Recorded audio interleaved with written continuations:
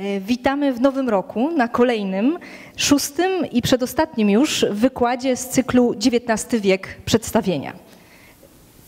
W naszych spotkaniach z XIX-wiecznymi przedstawieniami poruszamy się, jak Państwo zauważyli, chronologicznie krok po kroku do przodu i dzisiaj docieramy do samego końca XIX wieku, dokładnie do roku 1897, kiedy została napisana i wystawiona z wielkim sukcesem w Teatrzyku Ogródkowym sztuka Gabrieli Zapolskiej Małka Schwarzenkopf. Sztuka w pięciu aktach ze śpiewami i tańcami osnuta na tle stosunków żydowskich, jak głosi podtytuł. W historii teatru i dramatu polskiego to przedstawienie uważane jest za przełomowe. Czy rzeczywiście? I na czym ta przełamowość, przełamowość polegała? Mm, na początek postanowiłyśmy przyjrzeć się rzeczywistości na tle stosunków żydowskich i zastanowić się, jak kształtował się wizerunek y, Żyda w teatrze polskim XIX wieku. Y, zanim jednak przejdziemy do wizerunku Żyda, próbując nakreślić taką panoramę y, żydowskich portretów żydowskich postaci y, zawartych w XIX-wiecznym dramacie, słów parę na temat sytuacji Żydów w ogóle. Jak wiadomo, wiek XIX w dziejach Żydów osiadłych w krajach Europy stanowi niezwykle ważną cezurę. Wybitny żydowski historyk Jakob Katz pisał, że między rokiem 1780 a 1870 żydowskie wspólnoty w Europie przeszły radykalną transformację, jak to określił, cytuję tutaj, istoty całej ich egzystencji społecznej. Ta transformacja wiązała się z jednej strony z oświeceniowym w swojej proweniencji, ruchem reform. Tak zwana Haskala pomyślana została bowiem jako swoista autoreforma reforma, mm, e, która miała doprowadzić do e, akulturacyjnej integracji środowisk żydowskich z otoczeniem, ale przy zachowaniu e, jądra własnej religii, kultury i tożsamości, tyle że jądra przemyślanego na nowo. Drugą przyczyną transformacji, o której pisał Katz, były z kolei zmiany prawnego statusu wyznawców judaizmu. Y, wiadomo, w pierwszych dekadach stulecia Żydzi otrzymali prawa obywatelskie w niektórych e, krajach e, Europy y, i mówi się o tym, że w zasadzie w połowie wieku XIX w większości krajów Europy Zachodniej e, Żydzi czuli się bezpieczniej niż kiedykolwiek. Chronieni byli bowiem już nie wyłącznie kaprysem książąt czy władców, jak niegdysiejsi, niegdysiejsi Żydzi dworscy, ale chronieni byli przepisami prawa. E, w połowie wieku mm, e, europejscy Żydzi dzięki przemianom politycznym i społecznym mogli więc wykorzystywać rozmaite ścieżki emancypacyjne, e, które się przed nimi otwierały, nie tylko kariery gospodarczej, ale też artystycznej czy naukowej. Stali się więc w pewnym sensie beneficjentami nowoczesności. Ta karta, pozytywna karta odwróciła się dopiero w latach 70., kiedy narodził się nowoczesny antysemityzm, podszyty teoriami spiskowymi, karmiony nacjonalistycznymi ideologiami, y, no i zabarwiony oczywiście też w coraz większym stopniu y, rasistowsko, y, chociaż przed I wojną światową ten rasistowski aspekt europejskiego antysemityzmu nie miał jeszcze dominującego charakteru. Na ziemiach polskich pod zabiorami sytuacja wyglądała nieco inaczej. Tutaj skupiska żydowskie były największe. Tutaj też y, wierność ortodoksyjnej tradycji była znacznie silniejsza niż na Zachodzie, a z kolei tendencje mm, autoreformatorskie słabsze. Mieszkało tu także znacznie więcej ubogich Żydów niż w Europie Zachodniej. Y, Żydzi niemieccy przybyszów ze wschodu określali mm, w owym czasie pogardliwym mianem Betteljuden. Tutaj na ekranie w tle wyświetlają się ryciny Piwarskiego pochodzące z lat 40. i 50. One zostaną zestawione za chwileczkę z, z fotografiami z, z, 1916 roku e, i jakby zobaczą Państwo e, takie uderzające czasami podobieństwo i sytuacji, i sposobu ujęcia, sposobów przedstawienia. Procesom adaptacji i emancypacji na ziemiach polskich nie sprzyjała też polityka państw zaborczych które podsycały konflikty narodowościowe. E, jak wiadomo w zaborze rosyjskim na przykład różnymi środkami pogłębiano niechęć środowisk polskich do bogatej burżuazji żydowskiego czy niemieckiego pochodzenia, e, żeby w ten sposób osłabić napięcie w relacji między Polakami a Rosjanami. W warunkach zaborów znacznie wolniej przebiegały też procesy poprawy e, sytuacji prawnej mniejszości żydowskiej. I tu też sytuacja ta była zawsze najkorzystniejsza w zaborze pruskim. Poprawiała się, chociaż gorsza niż w Prusach właściwych, poprawiała się stopniowo w pierwszej połowie stulecia w zaborze austriackim. Natomiast w zaborze rosyjskim przyznawano Żydom indywidualnie prawa obywatelskie, ale dotyczyło zaledwie kilkudziesięciu bardzo majętnych osób. Natomiast znakomitej większości te prawa ograniczano coraz bardziej. Y, o zmianie statusu prawnego Żydów y, i o formalnym równouprawnieniu na ziemiach polskich można mówić dopiero w latach 60., a więc wtedy, kiedy środowiska żydowskie na Zachodzie są już w zasadzie wyemancypowane. Sprawa emancypacji połączonej z integracją żydowskiej mniejszości mm, stała się dyżurnym zagadnieniem społeczno-politycznym w wieku XIX. I trzeba wspomnieć i bardzo mocno podkreślić to, że na ziemiach polskich była to sprawa mniejszości właściwie autochtonicznej, bo mieszkającej na tych ziemiach od wieków, y, no i zarazem oczywiście mniejszości y, y, silnie etnocentrycznej, dlatego że związanej mocną więzią grupową, gwarantowaną religią i obyczajami. Y, żydowskie środowiska związane z ruchem Haskali i polscy działacze polityczni byli w zasadzie zgodni, mm, y, że przeszkodą w emancypacji Żydów i w integracji, ale integracji rozumianej jako adaptacja do kultury dominującej, mm, y, przeszkodą jest ortodoksyjna religijność i związane z nią przesądy oraz instytucje. Należy jednak podkreślić, że Haskala nie miała charakteru antyreligijnego. Religia była i miała pozostać mm, najważniejszym ogniwem łączącym wspólnotę żydowską od wewnątrz. Y, orędownicy sprawy żydowskiej z obu stron byli też zgodni co do y, jednego, mm, mianowicie do, co do tego, że pierwszym krokiem w kierunku integracji ma być proces tak zwanego cywilizowania żydowskich y, mas, cywilizowania czy tej dyscyplinowania żydowskich mas. Nawet światłe umysły trwały w zdumiewającym dziś przekonaniu, że na prawa obywatelskie trzeba sobie zasłużyć. W zaborze pruskim mniejszość żydowska, która wybrała drogę Haskali, mm, e, adaptowała się czy asymilowała najczęściej do kultury niemieckiej. Podobne tendencje zauważalne były początkowo także e, w zaborze mm, austriackim. Ten trend się odwrócił dopiero w okresie mm, wiosny ludów.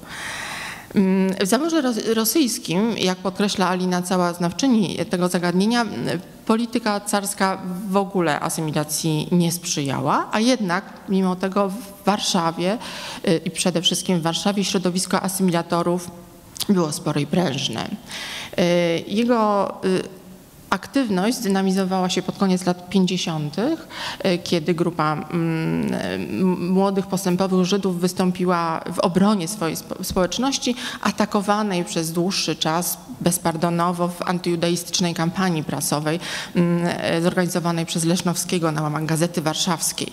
I obiektem e, ataków tej kampanii stali się właśnie zasymilowani, szczególnie aktywni gospodarczo Żydzi, pomawiani o skrajny egoizm, o obojętność na sprawy kraju, o zainteresowanie wyłącznie mm, pomnażaniem własnego majątku. Y, na tych polemikach prasowych mm, z zarzutami wystąpienia asymilitorów się nie wyczerpały, bo jak wiadomo lata poprzedzające wybuch powstania mm, styczniowego stanowiły okres jakiejś szczególnej solidarności polsko-żydowskiej. Wiele śladów tej, tej solidarności mamy w, w, i w malarstwie, i w i w literaturze. Po powstaniu styczniowym gorącymi orędownikami tzw. Tak kwestii żydowskiej staną się pozytywiści, e, ale postulowana przez nich asymilacja będzie w coraz większym stopniu e, rozumiana jako radykalna akulturacja, która zacierać ma całkowicie odrębność kulturową Żydów. Y, wbrew tym tendencjom asymilatorzy nadal starali się zachować pewną równowagę pomiędzy kulturami, w których zakorzeniona była ich tożsamość. Y, na ekranie widzimy jakby takie trzy symbole, można by powiedzieć, y, tego, tych tendencji, o których w tej chwili mówię, z Wielką Synagogę, nad Łomackiem, czyli świątynię judaizmu zreformowanego, pałac Kronenberga, czyli symbol tej, tej żydowskiej między innymi burżuazji, która przyczyniała się do, do, do przemian gospodarczych, no i wreszcie głos, głos inteligencji, mm, asymilującej się inteligencji żydowskiej, czyli czasopismo Izraelita wydawane od 1866 roku w języku polskim.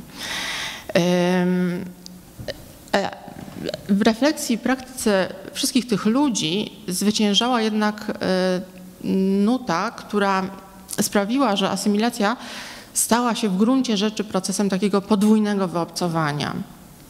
E, dlatego, że polonizujący się Żydzi bardzo pielęgnowali w sobie poczucie takiej ideologicznej wdzięczności wdzięczności dla Polski jako kraju, który e, dał im bezpieczne schronienie w czasach średniowiecza, zagłuszali natomiast w sobie myśl o tym, że są na tej ziemi ludnością właśnie autochtoniczną, że mają do niej takie same prawa e, jak Polacy. I ślady tego myślenia są bardzo widoczne e, w dramacie. XIX wieku, zwłaszcza drugiej połowy XIX wieku, ale nie tylko.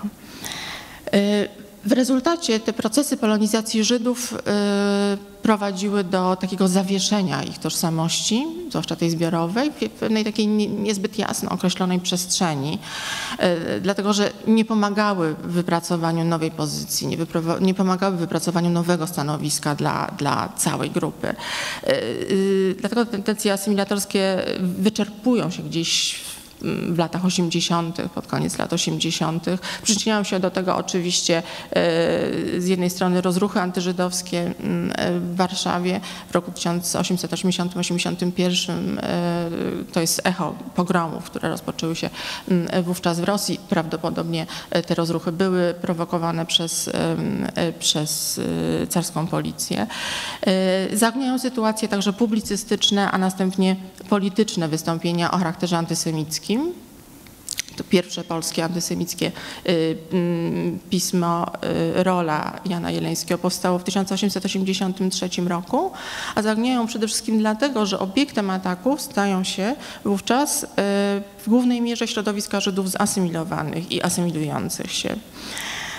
Oczywiście antysemicy publicyści końca wieku podzielali zdanie e, bardzo dobitnie wyrażone w 1816 roku e, przez Stanisława Staszica. Zdanie o, przekonanie o, tutaj cytuję tytuł broszury Staszica, o szkodliwości Żydów, mm, o tym, że oni są jednym z większych, znów cytuję, nieszczęść narodu polskiego e, i że psują ten naród wszelkimi sposobami. Ale publicyści Roli i Niwy nie podzielali opinii Staszica wyrażonej w drugiej części tytułu. Opinii o tym, że istnieją środki usposobienia ich, aby się społeczeństwu użytecznymi stali. Oczywiście te proponowane przez Staszica środki e, uspasabiania Żydów. E, to były środki cywilizowania polegające na takim fukotowskim, absolutnie bezwzględnym i drastycznym dyscyplinowaniu, ale nawet one wydawały się antysemitom niewystarczające pod koniec wieku. Dlaczego? Dlatego, że siła ciężkości e, argumentacji przesunęła się wówczas ze sfery historyczno-kulturowej w sferę biologii. No i zgodnie z antysemicką ideologią żydowskiej, skażonej natury żadnymi środkami ucywilizować się nie da. Żyd, nawet ten zasymilowany zawsze Żydem pozostanie. Postać Żyda pojawia się na scenie XIX-wiecznego polskiego teatru bardzo, bardzo często i nieprzypadkowo właściwie powrócą tutaj niemal wszystkie nazwiska autorów, o których już mówiłyśmy podczas naszych wykładów. Szczególnie często pojawia się w trzech ostatnich dekadach stulecia. Występuje w kilku wariantach. Mm, przechodzi oczywiście pewną ewolucję. No, teatr nie jest całkowicie ślepy i głuchy na zmiany, które zachodzą w rzeczywistości społeczno-politycznej. E, istotne cezury stanowią tutaj właśnie rok 1863 i ten, ten moment takiej szczególnej solidarności polsko, e, polsko-żydowskiej, potem początek lat 90., ale e, takie dwa fundamentalne założenia, które wpływają na kształt konturów postaci żydowskich, na zabarwienie tego scenicznego wizerunku życia Żyda y, pozostają y, również jeszcze niezmienne. Po pierwsze, wizerunek ten jest bez reszty zdeterminowany przez punkt widzenia dominującej większości, no czyli oczywiście przez polski punkt widzenia, ale też jeżeli pojawia się perspektywa żydowska, to będzie to sposób myślenia charakterystyczny dla tych środowisk, które promowały ideę asymilacji. Po drugie zaś, ten wizerunek jest zawsze rzutowany na siatkę stereotypu, i stereotyp y, całkowicie warunkuje sposób myślenia zarówno twórców, jak i odbiorców teatru. Społeczność żydowska y, była przez wieki y, takim modelowym, paradygmatycznym, rzec by można, obcym w polskiej kulturze, ale jej tysiącletnia obecność na ziemiach polskich sprawiła, że w stereotyp Żyda wpisane zostały najróżniejsze sprzeczności i ambiwalencje. Y, stereotyp Żyda jako obcego musiał być wystarczająco elastyczny, żeby umożliwiać koegzystencję, koegzystencję swoich i obcych w różnych zmieniających się warunkach. Oczywiście w sytuacjach konfliktowych nasilały się te negatywne elementy stereotypu, Wtedy zaś, kiedy Żyd był z jakiegoś powodu przydatny czy wręcz niezbędny, można było uwypuklić pozytywne aspekty stereotypu. Większość elementów składających się na ten stereotypowy wizerunek Żyda może być zdefiniowana w związku z tym, z tą elastycznością wpisaną w stereotyp, jako konstrukt na dwa sposoby. A więc teraz to, co w pozytywnym wizerunku będzie określane jako spokojny temperament czy pokojowe nastawienie Żyda, w wersji negatywnej stanie się taką przysłowiową żydowską tchórzliwością. E, tchórzliwość łączona niejednokrotnie z pyszałkowatością, e, jak na przykład w, w portrecie pana Gethaba, Fredry była od wieków wpisana w portret Żyda e, dla podkreślenia jego nieprzystawalności, całkowitej nieprzystawalności do szlachecko-rycerskiej kultury promującej, e, większościowej kultury, promującej dzielność i odwagę. Z kolei pobożność i rodzinność członków żydowskiej wspólnoty bywała waloryzowana pozytywnie, ale mogła też przybrać negatywne oblicze. Pobożność zamieniała się wówczas e, w takie oczywiście religianckie zacofanie, albo, z kolei, albo w, w taką biblijną, starotestamentową mściwość Żydów, mm, a rodzinność zamieniała się wtedy w mafijność, czyli w takie nieuczciwe popieranie, faworyzowanie swoich.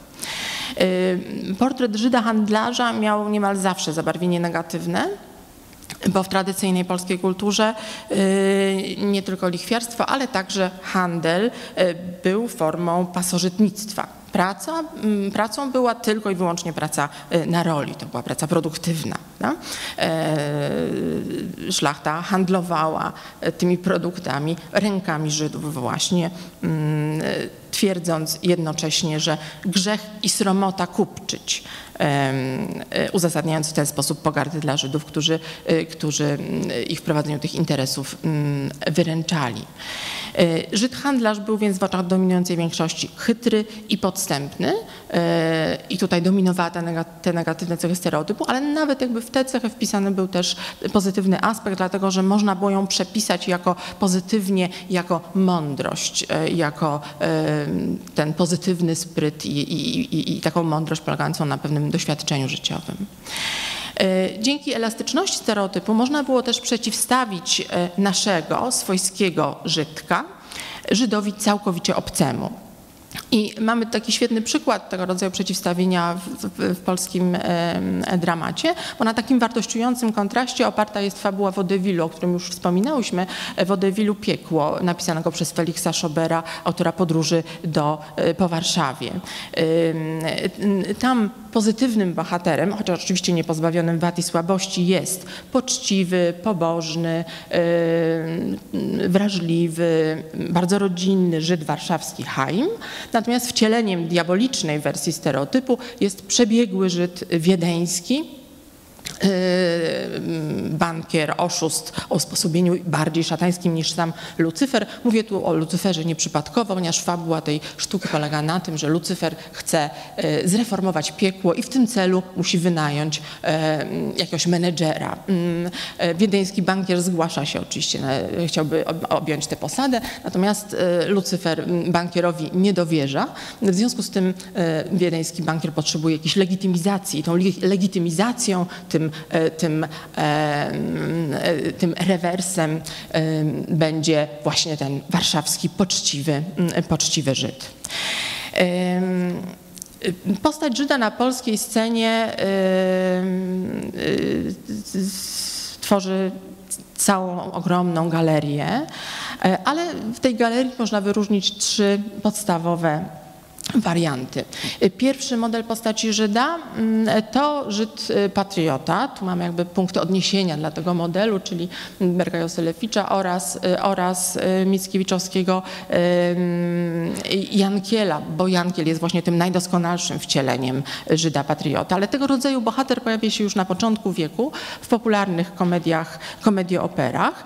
Komediooperach autorów, o których była już mowa, to znaczy w Okopach na Pradze Dmuszewskiego i we Wkroczeniu do Litwy e, Żółkowskiego. Arendarz Mosiek e, Dmuszewskiego e, to taki bohater, można powiedzieć, patriotyczno-ekumeniczny. On jest gotów wyrzec się zarobku w imię wdzięczności i obowiązków wobec tej ziemi, która go wykarmiła i która dała mu schronienie. To jest ten motyw, o którym już wspominałam. A przy tym wygłasza słowa, które mają przekonać innych bohaterów, a konkretnie polskiego chłopa, najbardziej względem niego nieufnego Grzele, no i oczywiście także widownie, do takiej możliwości współdziałania Żydów i Polaków jako dzieci tego samego, waszego i naszego powszechnego Ojca. No i w końcu Grzela Niedowiarek ogłasza przemianę Mośka w Polaka, mamy taki właśnie wariant teatru przemiany, mm, powiadając wejdźcie, wejdźcie, co za dziwy, kiejtes, gdy Polak powstaje, nawet i Żyd niepoczciwy, poczciwym się staje. A więc na tych słowach, które mają być świadectwem włączenia żydowskiego bohatera do patriotycznej wspólnoty, mamy ślad ambiwalencji, bardzo wyraźny ślad ambiwalencji stereotypu.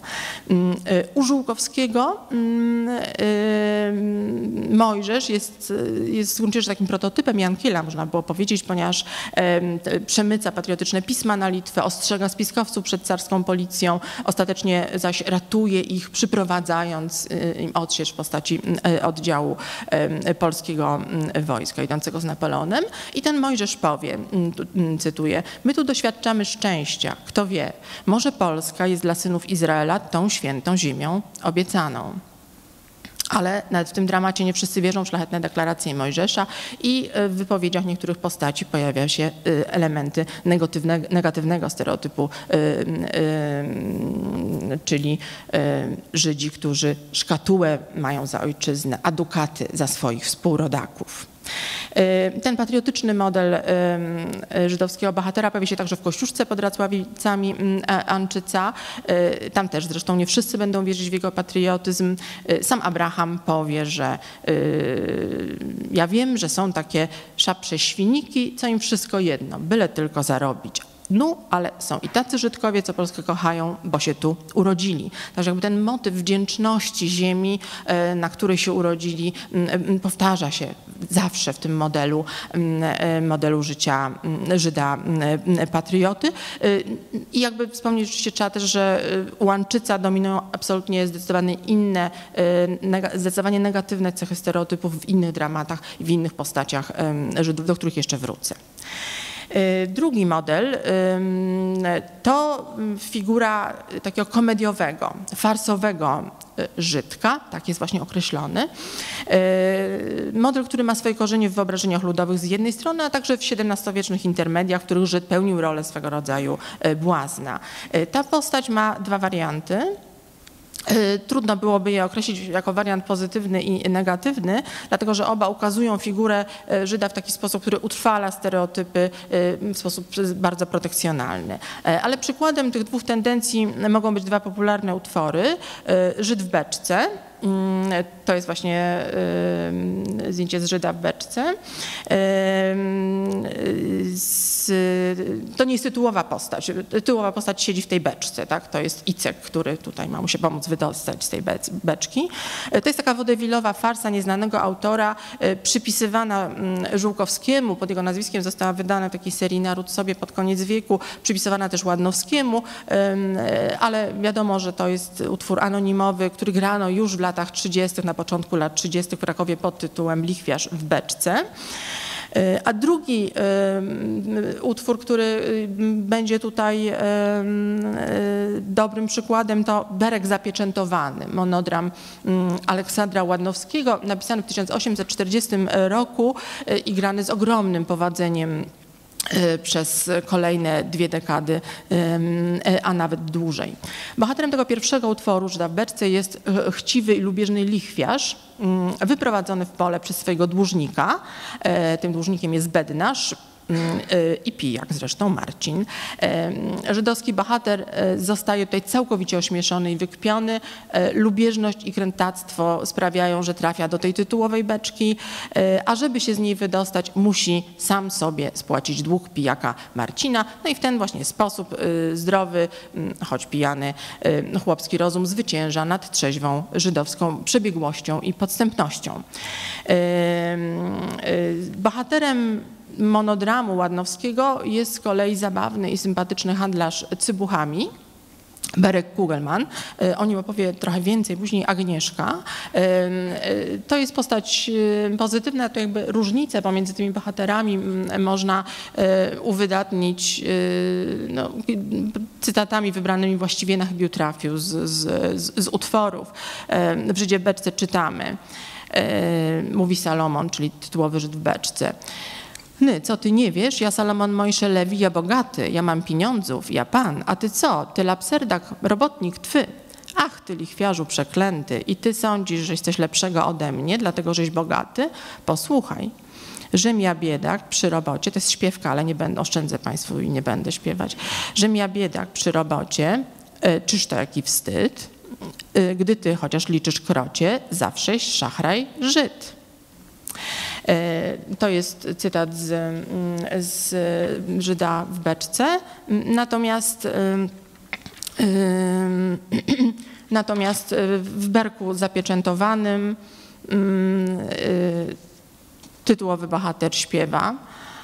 Mm, teraz u nas taka moda, każdy od Żyda pożyczy, a gdy się rachunek poda, nic nie płaci i jeszcze krzyczy.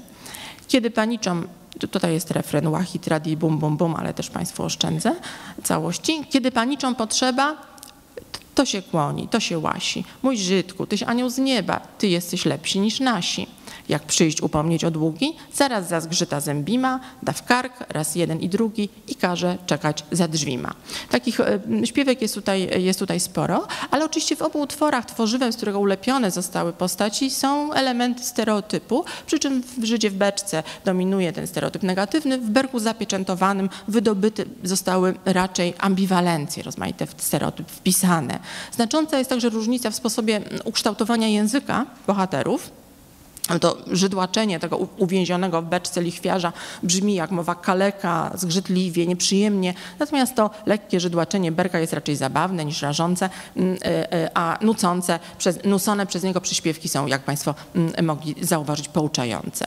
E, ten typ sceniczny miał bardzo wiele różnych wcieleń, mm, do najbardziej interesujących należą, przynajmniej w moim przekonaniu, propozycje Feliksa Schobera, czyli właśnie autora podróży po Warszawie. Mm, pod jego piórem ten ludowy typ zostaje zaadaptowany do rodzącej się nowoczesnej kultury popularnej. Mm, y, postaci Schobera w żaden sposób się nie wymykają ze stereotypu, ale są sympatyczne, pełne y, scenicznego wdzięku. A najważniejsze jest y, nie to, bo sceniczny wdzięk ma też Berek Kugelman. Ważniejsze jest raczej to, że Schober w taki pogodny, afirmatywny sposób wprowadza za pomocą tych postaci na scenę wieloetniczną Warszawę. I co więcej, w podróży po Warszawie to właśnie żydowski bohater Józio Grojseszyk jest gospodarzem tej wieloetnicznej Warszawy. Y, to on oprowadza po niej przybyszów z prowincji. E, te szoberowe postaci Żydów nie muszą być realistyczne, oczywiście nie mają e, żadnej takiej twardej tożsamości, wręcz przeciwnie, Szober wikła e, swoich bohaterów w rozmaite gry językowe i przebieranki. Jego Żydzi w sekwelu podróży, czyli, czyli w sztuce, która się dzieje na wystawie paryskiej, przebierają się za Chińczyków, Japończyków, Francuzów, posługują się takimi rozmaitymi melanżami językowymi i w ten sposób można powiedzieć, że tożsamość zostaje zdenaturalizowana zostaje pokazana jako, jako, jako konstrukt. I, i, I tak jak już o tym wspominałam mm, na poprzednim wykładzie, właśnie te transformacyjne gry, te, te zabawy z własną tożsamością zaczynają gdzieś u Schobera mieć taką nutę etnicznego, mm, etnicznego kampu, bo ta etniczna tożsamość w momencie, w którym zostaje ukazana jako przedmiot imitacji, jako taka świadomie zakładana mm, maska, zostaje oczywiście w pewnej mierze wzięta w nawias. No, co, co nie znaczy, że mamy tutaj y, do czynienia z, z, z jakąś taką radykalną i polityczną wypowiedzią Schobera. Na pewno nie, ale w tych, y, w tych przebierankach szoberowych jest taki anarchiczny duch, który, mm, który pokazuje jakby pewne możliwości wyzyskiwania właśnie tych stereotyp, modeli stereotypowego myślenia w kreowaniu tożsamości. No i wreszcie trzeci model żydowskiego bohatera, który będzie się pojawiał szczególnie w, pod koniec wieku, to jest Żyd kapitalista czy protokapitalista, człowiek interesu, e, interesu najczęściej, e, chociaż nie zawsze, szemranego i nieuczciwego. I tutaj też mamy wariant negatywny i wariant pozytywny. Zacznę od wariantu negatywnego, on jest oczywiście częstszy. W tym wariancie negatywnym to będzie Żyd, pasożyt, pijawka, pająk. To, to, to, to są określenia, które padają w tych dramatach, które powracają wielokrotnie. Y, bez względu na to, y, czy ten bohater negatywny jest ośmieszany i tutaj jakby takim modelowym przykładem jest oczywiście pan Gerhard Fredry, y, czy też jest demonizowany jak baron Goldschmidt z epidemii Józefa Narzymskiego, o którym już poprzednio opowiadałyśmy. To jest ten tutaj rugowany z salonu. Y, za swoją właśnie taką diaboliczność i, i diaboliczną działalność. W tym nurcie mieści się większość bohaterów y, takiego powieściopisarza Klemensa Junoszy Szaniawskiego, który był też autorem dramatów bardzo chętnie granych, zwłaszcza przez prowincjonalne teatry. Junosza wprowadza do swoich tekstów y, figury żydowskich mm, arendarzy, lichwiarzy, takich przedstawicieli, mm, można by było powiedzieć, karłowatego, prowincjonalnego kapitalizmu judaizmu. E, I te jego postaci są najczęściej zlepkiem e, bardzo antyjudaistycznych stereotypów. Te stereotypy zresztą wybrzmiewają ze sceny, są wygłaszane przez innych bohaterów, e, ale zarazem te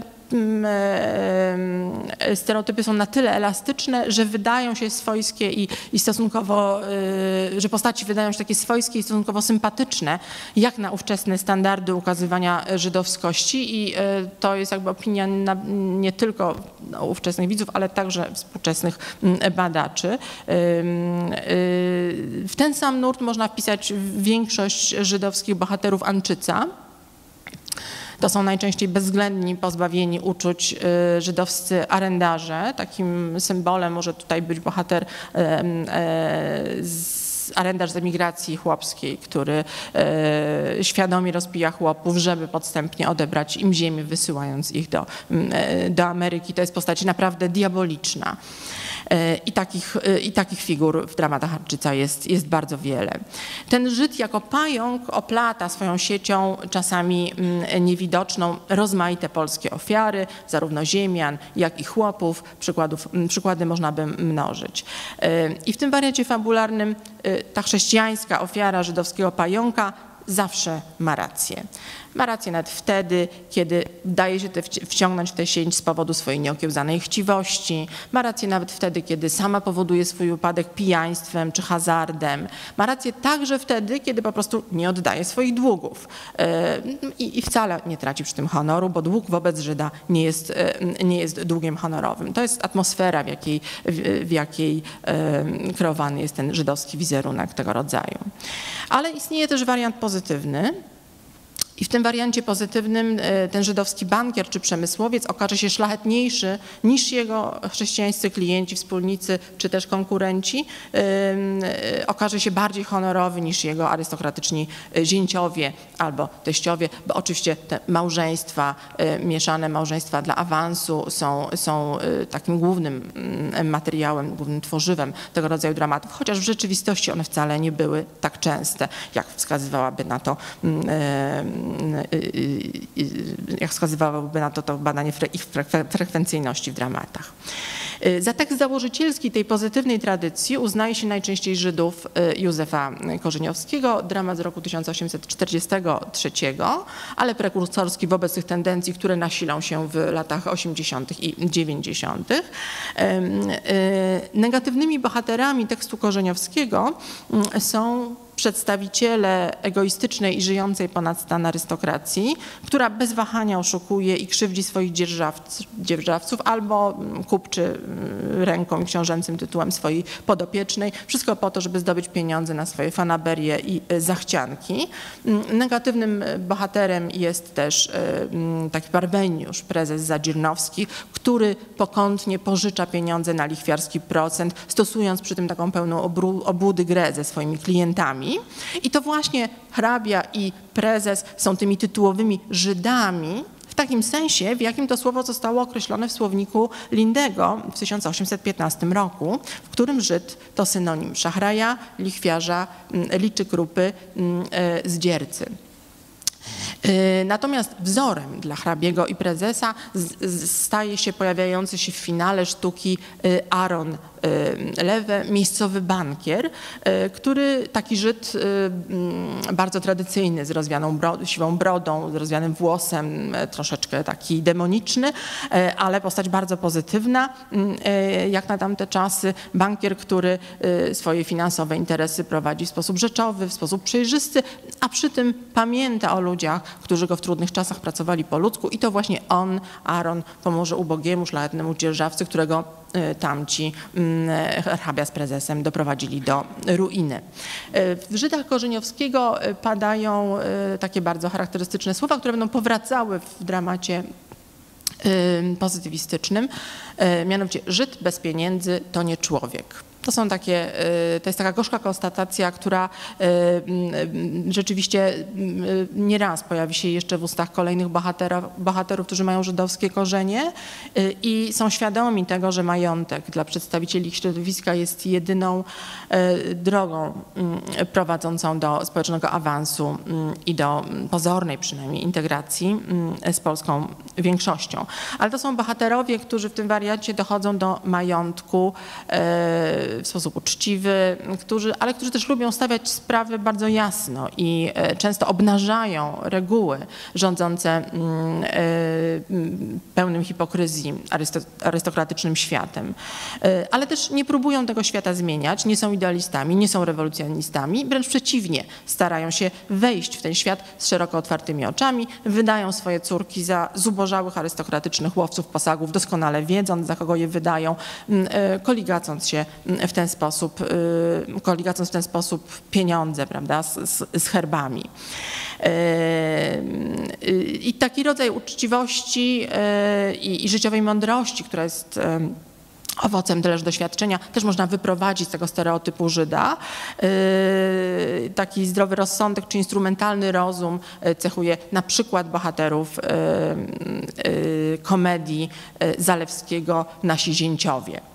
E, w którym teściowie, żydowscy teściowie są e, znacznie bardziej uczciwi niż arystokratyczni zięciowie. E, Kazimierz Zalewski jest też autorem bardzo słynnej w swoim czasie sztuki Małżeństwo Apfel, w której stworzył postać Żyda idealnego to tytułowy Apfel, Ernest Apfel, który żeni się z Zofią Czaputkiewiczuwną. E, żeni się z nią jednak nie dla tytułu i nie dla koligacji, ale po prostu z bezgranicznej i romantycznej miłości. Co więcej, młody Apfel bardzo dobrze wie, że żona go nie kocha e, i mimo wszystko gotów jest zrobić dla niej wszystko. E, przede wszystkim jednak chcę pokazać światu, właściwie nie tyle światu, właściwie trochę bardziej chcę pokazać, chcę poczuć, sam chcę poczuć, że, że jest godny tej swojej szlachetnie urodzonej żony, że dorósł do ideałów świata, z którego ona pochodzi, chociaż e, w tym świecie wszystkie ideały zostały dawno zapomniane, ja doskonale o tym wie, ponieważ w jego domu mieszkają także jego teściowie. I kiedy ojciec przemysłowca zbankrutuje, to Apfel odda cały swój majątek, żeby spłacić jego długi, chociaż w ogóle nie musi tego robić. Co więcej, wyzbywszy się tego majątku, zwraca także wolność swojej żonie, e, swojej ukochanej żonie. E, czyni zatem takie zupełnie, e, zupełnie niepotrzebne z pragmatycznego punktu widzenia gesty, gesty, ale czyni je po to, żeby wejść w, w świat właśnie romantycznych wartości ziemiańsko-szlacheckiego świata wartości, których e, diapazon wyznaczają takie dwa zapomniane już niemal pojęcia honoru i ofiary. Apfel to jest zatem taki Żyd całkowicie przeanielony, taki fikcyjny wytwór mm, asymilacyjnych mrzonek romantycznie mm, usposobionych mm, pozytywistów. W pewnym sensie podobna do niego będzie Małka Schwarzenkopf. E, zanim jednak o Małce, słów jeszcze parę o, e, o tym, jak wyglądały aktorskie kreacje w dramatach, o których tutaj wspomniałam. Nie we wszystkich dramatach, bo najpopularniejszy, jak się zaraz przekonany, był ten model środkowy. Mm, aktorzy y, po role żydowskie sięgali, jak to w XIX wieku, w zależności od amplua i pozycji swojej w teatrze. Ciekawe, jak XIX-wieczny, schierarchizowany system amplua, dzielący role na pierwszo, drugoplanowe i epizodyczne, odbijał strukturę społeczną. I tak postaci historyczne Żydów w dramatach czy tragediach, jak tytułowy Żyd wieczny tułacz czy Shylock w Kupcu Weneckim oraz postaci współczesne Żydów zasymilowanych e, mieszczan, bankierów e, ze współczesnych komedii i dramatów były domeną pierwszych bohaterów, tragików, komików czy aktorów charakterystycznych w rolach drugoplanowych. Tutaj mogą Państwo zobaczyć e, zdjęcie wielkiego tragika teatrów warszawskich Jana Królikowskiego e, jako, jako Rodin w, ty, w sztuce pod tytułem Żyd Wieczny Tułacz. Jest on również bohaterem naszej dzisiejszej pocztówki.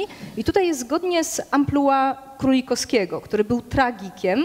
On również będzie grał Szajloka w Kupcu Weneckim e, tą postać zawsze pokazuje taką szalenie demoniczną. E, taki, nie, nie, wydał mi się ciekawy fragmencik e, Władysława Krogulskiego z notatek starego aktora, który napisał, tam każdy wyraz dyszał nienawiścią, każdy gest wstręt obudzał, cała postać jakimś demonizmem napiętnowaną była. Dokładnie w taki sposób komponował tą rolę Królikowski. Rapacki dopowiada jeszcze, dał mu, Królikowski dał mu maskę tak jaskrawą, e, jak chciał autor, skopiował wiernie jego kostium, poruszał się i mówił wedle podanej informacji, a jednak wlał weń tyle siły demonicznej, że postać ta, karykaturalna prawie w romansie, przybrała na scenie kształty skończonego typu. Komik warszawski, Żółkowski, o którym tutaj wielokrotnie była już mowa, miał w swoim repertuarze cały wachlarz postaci żydowskich. Grał i Balona Goldschmidta w Epidemii Narzymskiego, e, pana Geldhaba, e, Arona Lewy właśnie w Żydach Korzeniowskiego. Jego ostatnią rolą, po którą sięgnął w 1881 roku, był bankier Rosenblatt w Złotym Cielcu Stanisława Dobrzeńskiego. I tutaj napisano o tej roli, porównując ją do poprzednich. To nie Shylock, y, to, to, to, też ról żydowskich. To nie Shylock szekspirowski, to nie wspierany z zaciekłością fanatyzmu i nie Aaron Korzeniowskiego, bo pozbawiony uczciwości i nie Geldhab Fredry, bo mniej dobroduszny, mniej ostentacyjnie śmieszny, ale późniejszy i szkodliwszy od niego. Żółkowski wlazł po prostu pod skórę bezwyznaniowego kosmopolity i rycerza Krachów, pochodzenia żydowskiego, a narodowości austriackiej. To, co jest najciekawsze, y, znaczy, to, i to były role, y, role żydowskie, które, które pojawiały się w repertuarze tych, tych amplua głównych pierwszo- i drugoplanowych. Natomiast dla, najciekawsze wydają się role epizodyczne. Aktorzy epizodyczni, specjalizujący się w rolach ludowych, chłopów, drobnych mieszczań, byli także specjalistami od ról żydowskich handlarzy, kramarzy w bardzo bogatym repertuarze sztuk ludowych, na przykład Anczyca, w krotochwilach, obrazkach, wodewilach, jak wspomniano już tutaj, berek zapieczętowany czy Żyd, Żyd w beczce. I ja chciałam Państwa zainteresować właśnie tą ostatnią grupą i pokazać, jak te drobne role, jakie te drobne, drobne role dawały możliwości aktorskie yy, oraz zwrócić uwagę na taki szczegół, który dla takich własnych tutaj badań nazwałam gestem Panczykowskiego. Pan Czykowski, e, znany uczestnikom poprzedniego wykładu, mistrz obserwacji i epizodu, e, Rapacki wspominał, że nad łóżkiem ten aktor miał taki skonstruowane takie lustro, e, które tak było, tak tak, um, tak zawiesił, że odbijało e, okno, w których, e, które wyglądało na ulicę. I pan Czykowski leżąc na łóżku, e, tam czytając jakieś różne rzeczy, zerkał co chwilę w to lustro, cały czas obserwując przechodniów, obserwując ludzi na ulicy. I pan Czykowski w roku 1838 roku wystąpił w jednaktówce takiej krotochwili tłumaczonej z języka niemieckiego przez Jasińskiego Nowy Sąd Parysa, czyli Icek sędzią.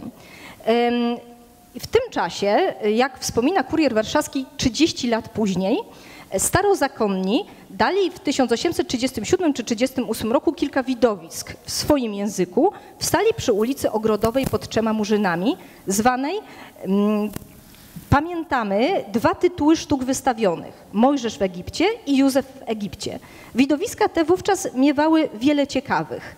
Jedną scenę z tego widowiska wypowiadał później pan Czykowski w krotochwili Icek sędzią, czyli Nowy Sąd Parysa.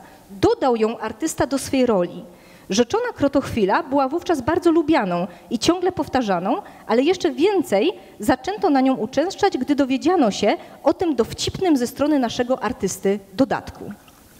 Ten gest Panczykowskiego e, z 1838 roku, polegający na podpatrzeniu, podsłuchaniu i dodaniu e, fragmentu jakiejś innej rzeczywistości, żydowskiego żargonu, okaże się, jak zobaczymy, bardzo e, inspirujący.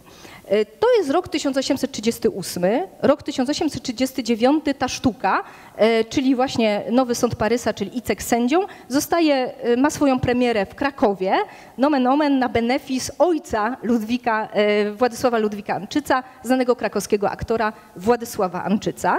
I w tej sztuce główną rolę właśnie Icka gra takiego wędrownego handlarza, handlującego książkami, tutaj właśnie w pięknej recinie przedstawiającej e, e, Panczykowskiego. E, w Krakowie w 1839 roku tą, w tą rolę wciela się Aleksander Ładnowski. Rok później to jest rok 1840. Premiera Berka Zapieczętowanego, w którym występuje Ładnowski, który sam tą sztukę, ten, y, ten wodewil, monodram napisał. Według y, Ciechowicza w książce, tak pisze Ciechowicz w książce Sam na sceny, to był taki y, występ w Icku sędzią, w tej roli, którą wprowadził do repertuaru Józef Panczykowski, był rodzajem takiego doświadczenia, który doprowadził go właśnie do napisania tego słynnego monodramu Berek zapieczętowany. Ta sztuka, tak jak Ewa tutaj wspominała, razem z Żydem w beczce, e, stanowią taki, mm, weszła na stale, na stałe do repertuaru teatru i była e, bardzo często, e, tutaj mają Państwo, o, przepraszam, nie, nie przesunęłam tego slajdu, widzą Państwo Aleksandra Ładny, Ładnowskiego, tutaj nie, nie umiałam, nie, nie potrafię na razie, a być może nie ma takiego zdjęcia, ale w każdym razie nie potrafię na razie znaleźć zdjęcia, który mógłby przedstawiać na przykład Ładnowskiego w tej swojej słynnej e, roli, którą sam napisał e, jako Berek zapieczętowany. Tutaj Państwo widzą tylko jego e, portret. I ta sztuka razem z Żydem w beczce stanowiła taki najbardziej popularny repertuar takich żydowskich przedstawień szalenie często wystawianych na e, scenie e, Teatru Polskiego. Była specjalnością aktorów. Ona stawała się taką specjalnością aktorów, którzy często przez bardzo długie lata e, mieli ją w swoim repertuarze. Bardzo często, to jest ciekawe, była takim pierwszym doświadczeniem teatralnym aktorów w zespołach amatorskich, w zespołach prowincjonalnych. Czytając wspomnienia czy Romana Żelazowskiego, czy Ludwika Solskiego, oni właśnie debiutowali w tym, w tym, w takim repertuarze. Była to taka, taka, jak Państwo sobie to wyobrażają, taka jedna aktówka, taki obrazek był często w takiej rzeczywistości teatralnej taką zapchaj dziurą repertuarową. Zawsze bardzo szybko można było ją wystawić i bardzo często zamykała wieczór, czyli po jakimś na przykład trzyaktowej sztuce y, właśnie Żyd w, bieczce, Żyd w beczce czy Berek zapieczętowany zamykał wieczór teatralny i będą Państwo mieli niezwykłą okazję zobaczyć e, fragmencik tej sztuki, ponieważ udało się, wkomponowaliśmy ten fragmencik w nasz film.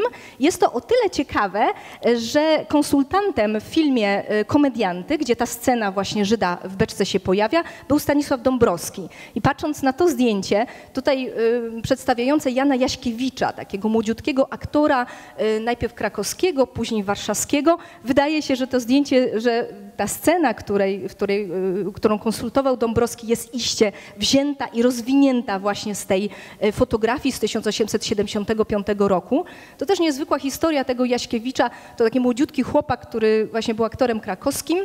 I tak mnie w ogóle nie znałam go kompletnie. I tak mnie zazwyczaj tych aktorów grających Icków to się zna, bo oni e, jednak zyskiwali e, tą rolą taką popularność już w późniejszym, e, w późniejszym życiu. Natomiast okazuje się, że Jaśkiewicz, który po doświadczeniu krakowskim właśnie został aktorem Teatru Małego w Warszawie w 1881 roku, bardzo szybko po czterech latach zmarł w wieku 30 lat na gruźlicę po długiej i ciężkiej chorobie yy, ale pozostało y, po nim takie piękne zdjęcie. Mm, Berek zapieczętowany, to też y, trzeba o tym y, pamiętać, był tekstem, to jest, te teksty, jak Państwu zapraszam, żeby Państwo po nie sięgnęli, to są teksty sceniczne, takie czysto teatralne, takie szalenie otwarte, które można odrobinę porównać do takich scenariuszy komedii dell'arte, które dawały szerokie możliwości improwizacji i aktualizacji. I takim mistrzem takiego typu traktowania tej postaci mm, w Berku bądź Icku, ponieważ ta sztuka gra pod była grana pod tymi dwoma tytułami, albo Berek zapieczętowany, albo Icek zapieczętowany, był y, Józef Damse, y, który tutaj akurat y, Państwo go widzą na fotografiach z przedstawienia Chłopi arystokraci Anczyca, też nigdzie jeszcze nie, nie prezentowanych, pochodzących ze zbiorów Biblioteki Narodowej, ale także z Instytutu Sztuki.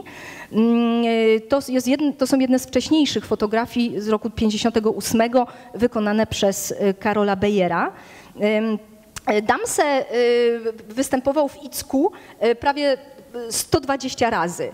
E, to był taki aktor, który uwielbiał e, grać do paradyzu, uwielbiał, bardzo często karykaturował rolę, tak ją przejaskrawiał, po to, żeby być oklaskiwany przez publiczność paradyzową i bardzo lubiał właśnie dodawać jakieś takie aktualizacje trochę w stylu właśnie Alojzego Żółkowskiego, ale robił to w ponoć, jak e, czytamy we wspomnieniach, w mniej subtelny sposób. I na przykład w latach 60. w Warszawie występowała na występach gościnnych Wielka Ristori, I tam po, tej, po tych występach oczywiście Damse zaraz dołożył jakąś parodię e, wielkiej tragiczki, więc cały czas ta sztuka służyła mu właśnie do aktualizacji, do jakiejś wymyślania improwizacji i taka była również jej funkcja.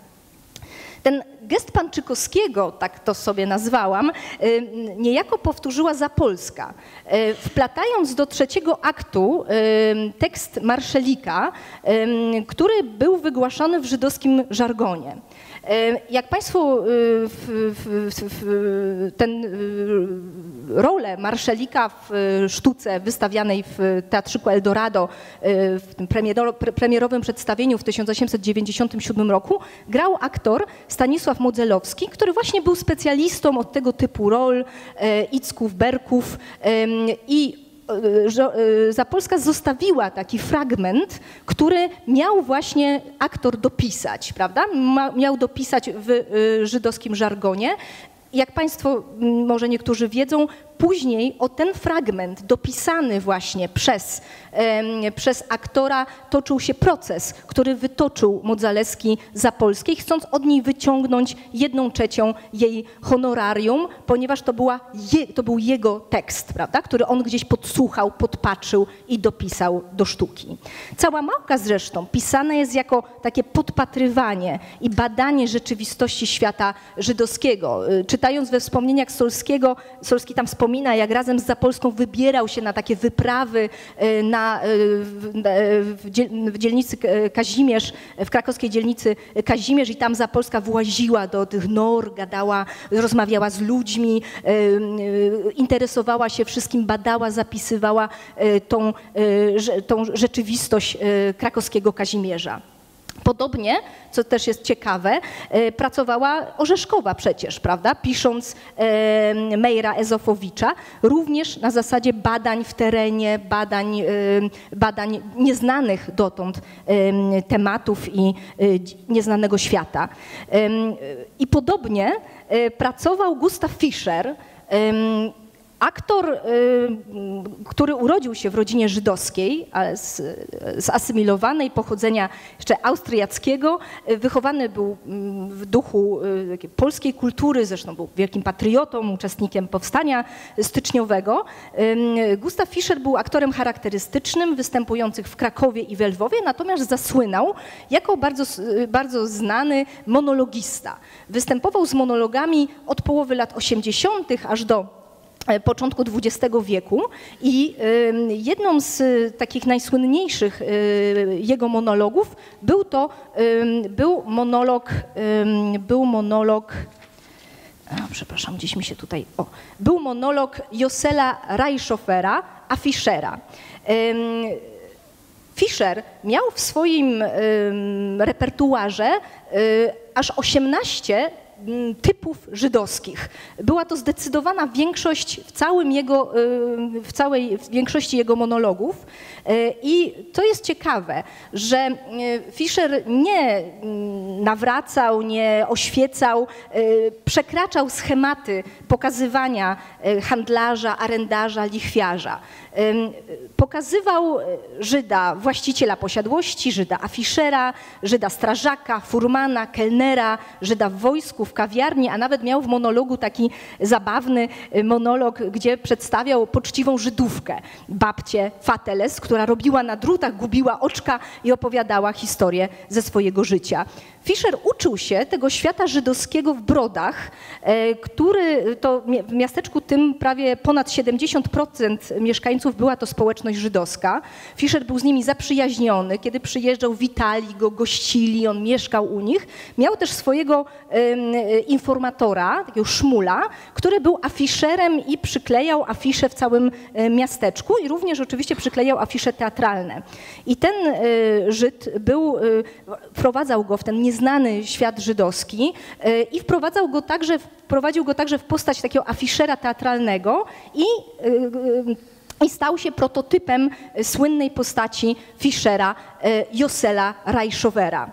E, w 1887 roku Fischer z tymi monologami e, przyjechał do Warszawy, co ciekawe na zaproszenie hrabiny Branickiej, która w resursie obywatelskiej zbierała pieniądze, e, na, ona była prezesem takiego towarzystwa opieki nad ubogimi matkami i dziećmi i zapłaciła Fischerowi jakieś honorarium, natomiast pieniądze z biletów za występy Schobera oczywiście były zbierane jako E, w, celach, e, były zbierane na, e, na to towarzystwo. I Fischer wystąpił, był oklaskiwany prawda, przez przedstawicieli, przez arystokrację, ale również oczywiście przez przedstawicieli świata żydowskiego.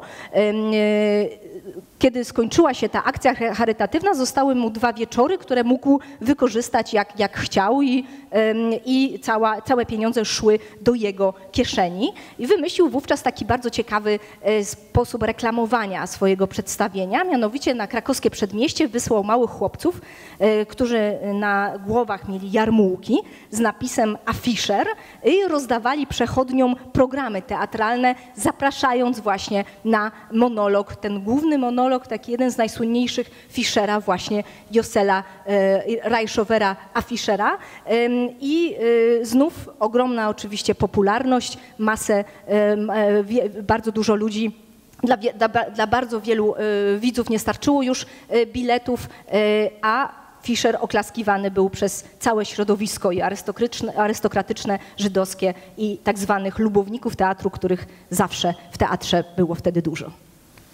Skoro pojawiła się już sprawa mm, afiszera, mm, to warto wspomnieć o tym, że takim mm, powiedzmy symbolem tego, że e, w ostatnich dekadach XIX wieku publiczność żydowska stała się coraz ważniejszym odbiorcą polskojęzycznego teatru, zarówno na prowincji jak w Warszawie, e, jest to, że na rogu Nalewek i Gęsiej bardzo regularnie e, przyklejano właśnie afisze reklamujące polskie przedstawienia. W owym czasie zasymilowani Żydzi bywają regularnie w warszawskich teatrach rządowych, widzowie z najróżniejszych sfer pojawiają się w Teatrze Ludowym, no i oczywiście w teatrach ogólnych ogródkowych. E, to zainteresowanie żydowskiej publiczności teatrem e, potwierdza też taki eksperyment podjęty przez jednego z restauratorów, Minca, który na nalewkach w samym środku dzielnicy żydowskiej e, w ogródku Grenada zatrudnił w letnim sezonie roku 1871 trupę Jana Russanowskiego, tego samego Russanowskiego, od którego się zaczęła historia polskich przedstawień w teatrach ogródkowych. Występowali oni także na nalewkach. Y, tę obecność żydowskich widzów w teatrach ogródkowych odnotowują, mm, oczywiście nie zawsze w przychylnym tonie, recenzenci teatralni y, oraz felietoniści, innymi Henryk Sienkiewicz. Y, I tę obecność tej publiczności komentowano czasem bardzo niewybrednie, ale jednak ta, ta, to, to przykle, przyklejanie afiszy mm, na rogu nalewek Gęsi świadczy o tym, że i twórcom, i przedsiębiorcom teatralnym na tej żydowskiej publiczności musiało zależeć. Reminiscencje wizyt teatralnych można znaleźć także w żydowskich pamiętnikach dotyczących e, tamtych czasów. Historyk e, teatru żydowskiego e, Michael Staunlauf zaznacza, że w gruncie rzeczy właśnie teatry i rozmaite miejsca teatralne były przestrzenią najintensywniejszych wówczas, chociaż powierzchownych kontaktów pomiędzy społecznością polską a żydowską. Steinlauf podkreśla zresztą także, że publiczność e, chętnie bardzo oglądała te sztuki, w których e, w sposób komiczny lub karykaturalny przedstawiony był polski e, żydowski bohater tych sztuk była większość, a stereotyp Żyda stał się coraz bardziej przezroczysty, także dzięki sukcesom aktorów, o których wspominałam przed chwilą e, Agnieszka. E, zdarzały się oczywiście protesty. E, o jednym z takich protestów pisał swego czasu Solski. Tak, to, to jest ciekawa bardzo historia e, ze wspomnień Ludwika Solskiego. Historia z roku 1877 roku. Niech Państwo, Ludwik Solski był wtedy młodziutkim aktorem, dopiero zaczynał swoją karierę i był członkiem trupy e, Anastazego Trapszy. E, ta trupa takiego biednego teatru prowincjonalnego występowała w Łodzi. I tam e, w Łodzi zaczęło im się dobrze powodzić, ponieważ była bogata publiczność żydowska, która uczęszczała na przedstawienia i akurat był wtedy karnawał. I ta mm, żydowska publiczność, bankierzy, finansiści e, postanowili wynająć, wynająć trupę trapszy, żeby zorganizowali dla nich taki karnawał, dla swoich dzieci, dla młodzieży, taki, taki bal karnawałowy, taki kinderbal, e, bal przebierańców. Tutaj też jest e, ciekawe, jak Solski wspomina, kiedy ta rzeczywiście młodzież, e, potomkowie bogatych finansistów przyszli na ten, na, do tej sali udekorowanej kotylionami, balon, jakimiś bibułkowymi lampionami. Okazało się, wyszło, wyszedł kontrast między takimi ubogimi e, kostiumami polskich aktorów, a wspaniałym kostiumem e, młodzieży. E, I jak to na taką maskaradę karnawałową przystało, zawsze o godzinie 12 miało odbyć się jakieś przedstawienie, zazwyczaj taka króciutka, dowcipna jednoaktówka i Trapszo zakontraktował, podpisując kontrakt na ten bal karnawałowy, że wystawi taką popularną e, jednoaktówkę Grzeszki Babuni, e, którą grały zazwyczaj, zazwyczaj dwie, dwie aktorki. Więc dochodzi do godzina 12, zaraz ma mm, być to przedstawienie, wszyscy czekają. Okazało się, że nie ma aktorek, jakby gdzieś zniknęły. I co robić? Jakby tutaj się publiczność już niepokoi, trzeba coś wystawić. I Trapszo kompletnie jakoś nie pomyślawszy, podjął oczywiście taką decyzję jednosekundową, co grać, co grać, prawda? A to zagrajmy Żyda w beczce. Solski się szybko przebrał, przygotowali scenę, zagrali Żyda w beczce. I Solski wspomina, że już zaczyna prawda, grać i nagle widzi, że na widowni tylko jest kilka osób. Cała w ogóle publiczność gdzieś znikła, tylko jakieś dochodzą tam e, krzyki e, gdzieś przy drzwiach.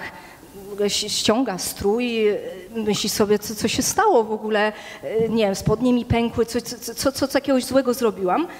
Nikt nie wie w ogóle, co, co, co się stało i co się okazuje. Okazuje się, że yy, publiczność żydowska jest zbulwersowana. I Mówią, ośm- ośmieszyliście nas. Oczywiście dorosłym ludziom można pokazywać takie sztuki, Żyda w beczce, my możemy się z tych sztuk pośmiać, ale my nie chcemy, żebyście pokazywali to naszym dzieciom, prawda, naszej młodzieży, żeby oni zobaczyli, w jaki sposób e, ten bohater jest przedstawiany.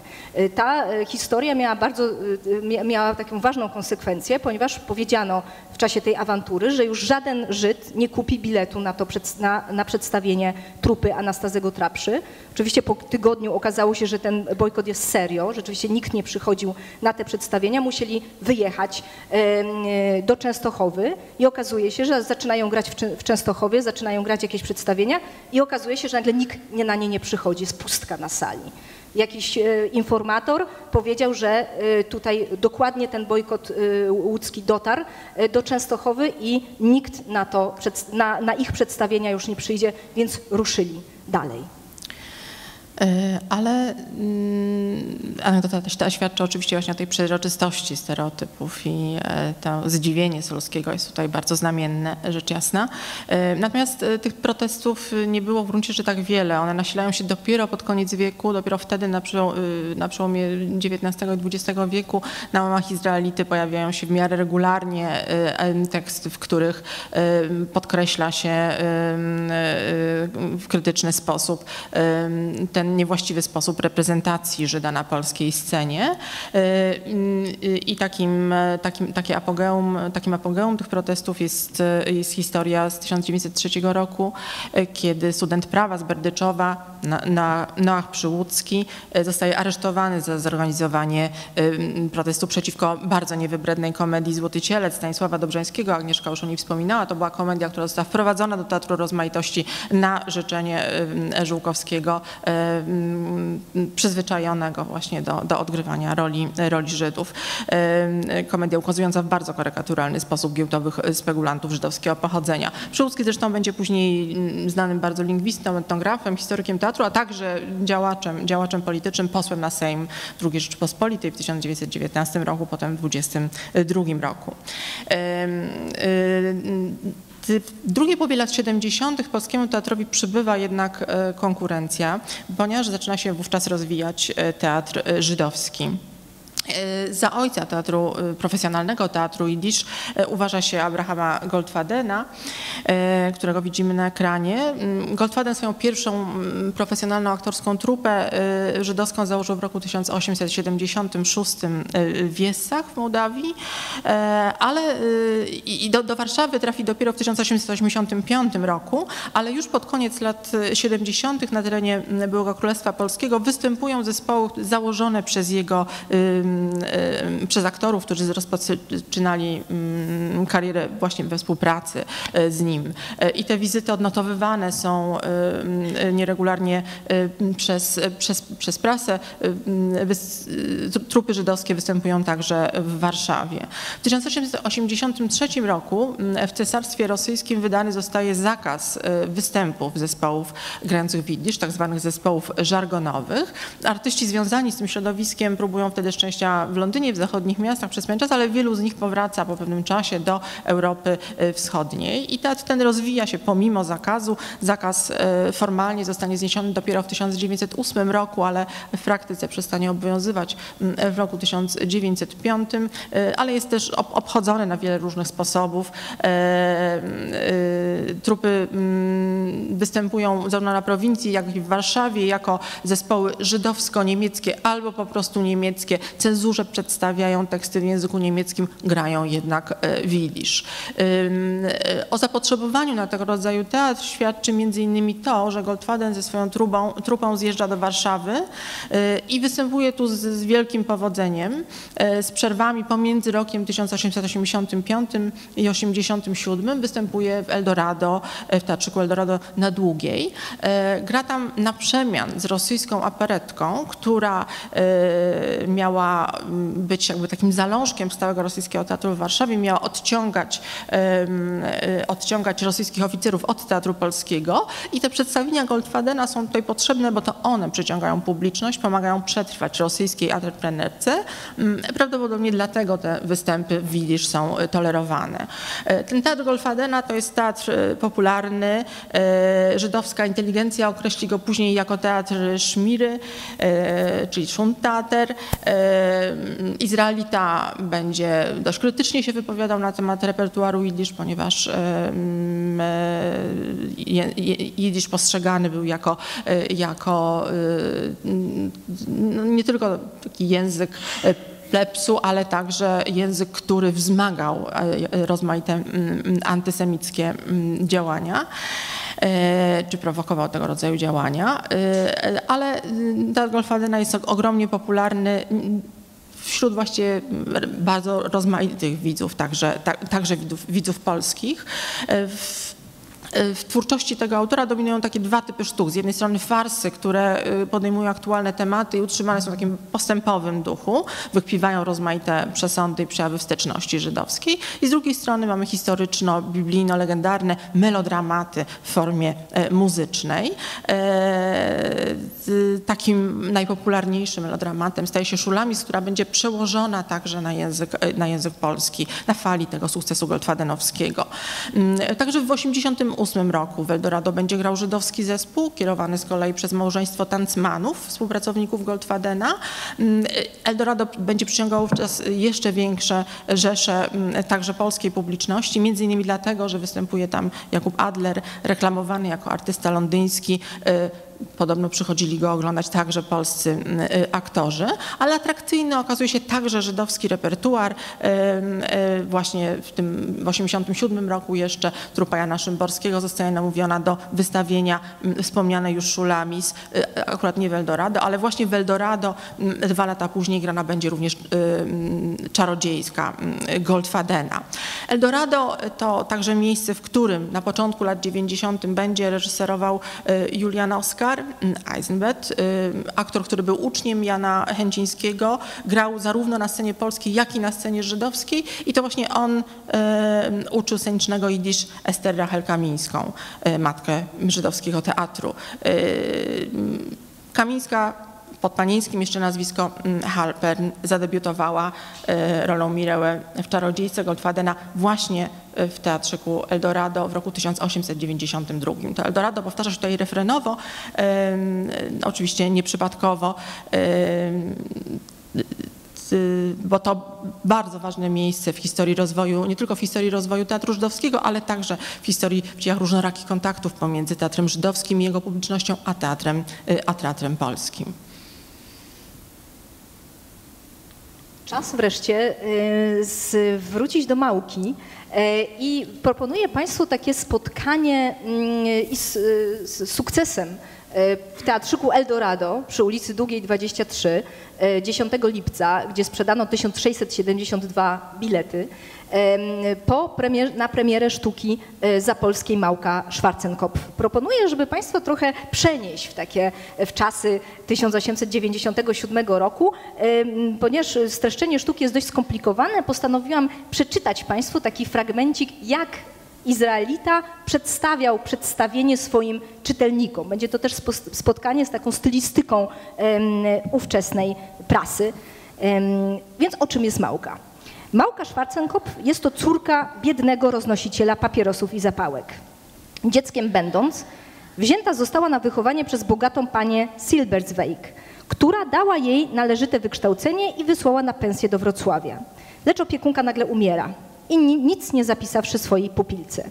Gdy Małka po ukończeniu pensji wraca do domu opiekunki, natrafia na orgię, jaką sobie wyprawia spadkobierca nieboszczki Maurycy ze swoim złym duchem, wydrwi groszem wydrwi groszem kolumną wiedeńskim w towarzystwie ziutek, niutek i kilku kantorowiczów.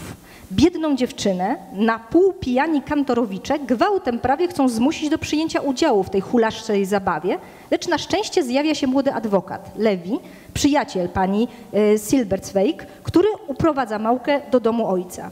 Stary Schwarzenkopf Mieszka kątem w starej, brudnej izbie, zamieszkałej jeszcze przez Jętę, handlarkę starzyzny, z czworgiem dzieci i matką paralityczką. Brud i nędza, jakie wydzierają tu z każdego kąta brak powietrza, światła, brak kawałka chleba i myśl, że nie tylko, nie, i myśl, że nie tylko ulżyć ojcu biednemu nie jest w stanie, lecz jest mu nawet ciężarem, przygnębiająco działają na biedną dziewczynę. Jest tym nieszczęśliwsza, że znajduje się w sferze nieswojej, że z nikim tu myśli podzielić nie może, bo nikt jej tu nie rozumie, że nie czuje do nikogo przywiązania, tylko do adwokata Lewiego, którego kocha nawet, czuje instynktem, że on i ją kocha, ale Lewi żegna ją i nie chce i nie może nadal się z nią widywać, bo jest związany słowem z inną, bogatszą od małki. A tu ojciec, swatka, sąsiadki namawiają, żeby wyszła za Jojnę Firukesa, właściciela półsklepiku na Marszałkowskiej, nawiasowo mówiąc brzydkiego, głupkowatego, zahukanego przez wszystkich chłopca. Małka zgadza się wreszcie i zostaje panią Jojnową, ale i teraz nie jest szczęśliwą. Jojnę kocha swoją żonę, ubóstwia ją nawet, bo czuje wyższość jej nad sobą. Ona kocha, ale adwokata Lewiego, który właśnie zerwał z narzeczoną i proponuje Małce, by się z mężem rozwiodła i za niego poszła. Rodzice nie chcą się zgodzić na rozwód. Zrozpaczona kobieta truje się i to w chwili, gdy mąż jej zdobywa się na iście bohaterskie poświęcenie i oddaje Lewiemu żonę, gdyż czuje, że jej z Lewim będzie lepiej, aniżeli z nim, prostym i głupim Żydkiem. Małka kończy się więc tragicznie. E, ta historia, tak melodramatyczna, osnuta na tle stosunków żydowskich, była wielkim, wielkim sukcesem. Lucjan Dobrzański wynajął w lipcu 97 roku teatrzyk Eldorado, gdzie grał od poniedziałku do piątku, ale miał jeszcze drugi teatrzyk, taki od święta, e, teatrzyk Bagatela e, i tam postanowił idąc za ciosem, wystawiać Małkę i w jednym teatrze, i w drugim. Jak Raszewski wyliczył, zarobił na tej operacji przez, nieca, przez około dwóch miesięcy prawie 22 tysiące rubli co przy e, honorarium e, zapolskiej 300 rubli było ogromną e, sumą. Raszewski wspomina, że za tą sumę około ponad 20 tysięcy rubli już można było małą kamieniczkę kupić w Warszawie. Więc rzeczywiście spektakularny sukces. W Warszawie zapanowała małkomania, gust teatromanów, starty na proch miałki. Szekspir w kąt już poszedł dla modnej dziś małki. Została, sztuka została bardzo dobrze przyjęta przez całą prasę. Tutaj ciekawe jest takie porównanie, które wydaje mi się w ogóle ciekawe do tych tego gestu panczykowskiego i w ogóle takiego sposobu myślenia e, w tamtym czasie. E, e, porównywano umiejętność Zapolskiej do zrobienia dobrej fotografii. Oczywiście ta fotografia miała jakieś, y, prawda, tutaj nie, zły światłocień, jakieś tam usterki i tak dalej. Oczywiście to było i wypunktowywano te usterki na różnego rodzaju, y, y, wypunktowano te usterki, gdzie jest za ciemno, gdzie jest za jasno, gdzie troszkę wyretuszowała tą rzeczywistość. Jednakże przyjęto, że była to fotografia wykonana ze znawstwem, z talentem i niezwykle przekonująca, głównie dla publiczności żydowskiej, ale także dla publiczności polskiej gdzie jest wielka, wielkie pieniądze i wielki sukces, e, a tutaj jeszcze Państwo mają taką e, ciekawą karykaturę, która świadczy o popularności bardzo e, sztuki i oczywiście takiego uwielbienia, którego Zapolska doznała od środowiska żydowskiego, trochę porównywalne właśnie do, do tego, jak, jak Fischer był przyjmowany właśnie w Brodach. Czego chce ta, przepraszam Pana, ale tu mieszka bardzo godna osoba, Pani Zapolska, co napisała Małkę, to my byśmy chcieli zobaczyć chociaż jej służące. Oczywiście to jest karykatura, karykatura, to jest prześmiewcze, e, ale też oddaje sytuację, która wtedy miała miejsce. I tak jak zaczęłam wspominać, gdzie wielki sukces i wielkie pieniądze, to oczywiście zaraz zaczynają się wielkie skandale. E, I tutaj dokładnie też tak było, mianowicie z Małką jest związane, są związane trzy procesy. Jeden proces wytoczyła Zapolska Dobrzańskiemu, ponieważ uważała, że rzeczywiście ta proporcja 20 tysięcy a 300 rubli jest, y, jest nieuczciwa e, i zażądała oczywiście wyższej zapłaty za, za sztukę. Też tam to jest takie skomplikowane skomplikowana sprawa, ona się nie zgadzała, żeby sztuka była grana w obu teatrach, jeszcze Dobrzański chciał ją wystawiać też w Łodzi, więc tak jakby chciał ją grać w trzech teatrach równocześnie i tutaj to było przyczyną tego procesu. Z kolei E, z kolei e, aktor grający rolę Marszelika wy, wy, wytoczył proces Zapolskiej, e, chcąc od niej prawda, wyciągnąć jedną trzecią honorarium za ten dopisany przez siebie tekst, więc Warszawa żyła skandalami. Jest Tutaj też oczywiście te, tego już nie ma czasu, żeby mówić dokładnie, ale e, tutaj zestawiłam dla Państwa e, aktorki występujące w tej roli. Oczywiście e, do sukcesu przyczyniło się także znakomite wystawienie sztuki, świetne aktorskie role, w tym główna rola. Grała ją młodziutka, debiutująca aktorka Antonina Podgórska. To była później taka znana aktorka teatru polskiego w Wilnie i w Poznaniu, już znana w latach 30. Ona tutaj debiutowała, była młodziutką dziewczynką, kiedy, e, dziewczyną, kiedy zaczynała. Później, e, ponieważ e, spodobała się bardzo Dobrzeńskiemu Maria Przybułko-Potocka, która grała w konkurencyjnym teatrze Wodewil, Dobrzeński wykupił, podkupił tą aktorkę z Wodewilu i ona zaczęła grać Małkę, a z kolei podkupił Dobrzeńskiemu Przybyłko-Potocką Pawlikowski, który zatrudnił tą aktorkę już w sierpniu do Krakowa. Zaangażował ją razem z Gabrielą Zapolską, która otrzymała angaż jako aktorka i jako autorka. To, to, co się stało, rzeczywiście proszę zobaczyć, premiera była w lipcu, w październiku odbyły się trzy premiery e, w Lwowie, w Poznaniu i w Krakowie, jak bardzo blisko siebie e, tego przedstawienia, które za każdym razem osiągało olbrzymie powodzenie. Zapolska najbardziej była dumna z tego sukcesu krakowskiego. Małka trafiła na, do Teatru Miejskiego w Krakowie, wówczas pod dyrekcją Tadeusza Pawlikowskiego, e, z doborową obsadą. E, tutaj mogą Państwo e, zobaczyć kilku znanych powszechnie aktorów. Antoni Siemaszko wcielił się w rolę starego Schwarzenkopfa, Maria Przybyłko właśnie, która zagrała Małkę, Maria Przybyłko, późniejsza Potocka, grała Małkę, taki znany aktor Władysław Roman, świetną rolę starego Firkuesa, Paulina Wojnowska, Taka świetna, charakterystyczna aktorka teatru e, Koźmianowskiego, e, wcieliła się w rolę Glandzowej. E, Kazimierz Kamiński był świetny jako kolumna wiedeński. Ludwik Solski wcielił się w rolę marszelika. Tutaj Państwo też na dole widzą fotografię, która została wykonana tuż po przedstawieniu i została opublikowana w życiu. W tym życiu również, ja tutaj wycięłam też z, z afisza jak fotografowano, przepraszam, jak reklamowano tą e, sztukę w Krakowie. W nawiasie zapisano grana w Warszawie z wielkim powodzeniem. Szczepański, i to znaczy, wiem, że nam jest trudno współcześnie wyobrazić sobie, na czym to polegało, ale niech Państwo sobie, myślę, że dobrze to oddał właśnie w życiu Szczepański, to znaczy napisał żydowski melodramat z ogródkowych teatrzyków przeniesiony na wielką scenę, bardzo to być może, ale tymczasem publiczność na każdym przedstawieniu wypełnia po brzegi salę. To y, przedstawienie w reżyserii, y, w inscenizacji Tadeusza Pawlikowskiego rzeczywiście y, skończyło się ogromnym sukcesem. Chwalono e, taką inscenizacyjny rozmach, rozmach e, Pawlikowskiego, który zafascynowany teatrem e, Meningeńczyków przygotował przedstawienie z całą taką dbałością o każdy szczegół. Zatrudnił nawet, jak wspomina Raszewski, powołując się na Stanisława Dąbrowskiego, zatrudnił takiego specjalistę z Bochni, który odpowiadał za te sprawy obrzędowe, zaręczyn, no, szczegóły, rekwizyty, światło, wszystko to było na e, najwyższym, e, i gra aktorska na najwyższym poziomie. Oczywiście w Krakowie było dość spore środowisko takie antysemickie, nacjonalistyczne.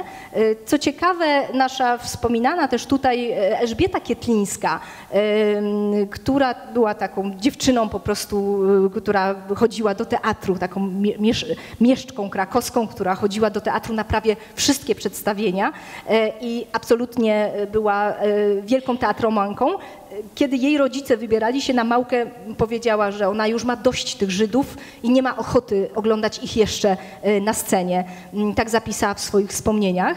Tutaj Państwo, przygotowałam dla Państwa taki fragmencik e, z Głosu Narodów, takiej właśnie mm, antysemickiej e, gazety, która jeszcze przed, kiedy dowiedziano się, że Pawlikowski ma w repertuarze Małkę, pisano, że jest to sztuka, sztuka, jest to sztuka bezecnie, ta sztuka bezecnie pochlebia Żydom, i wobec tolerancji, jaką okazuje były dyrektor policji, skandalom w teatrze, obawiać się należy, że Małka Schwarzenkot wyprowadzi z niecierpliwości widzów chrześcijańskich, e, a byłoby przecież źle, gdyby przyjść miało do skandalu. E, czytamy w Głosie Narodu. Tutaj Państwo też widzą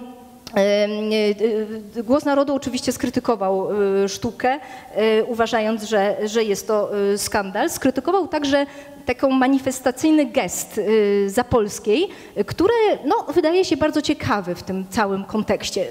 Zapolska wykonała w zasadzie takie dwa ciekawe gesty, mianowicie odważne bardzo, jak na tamte czasy.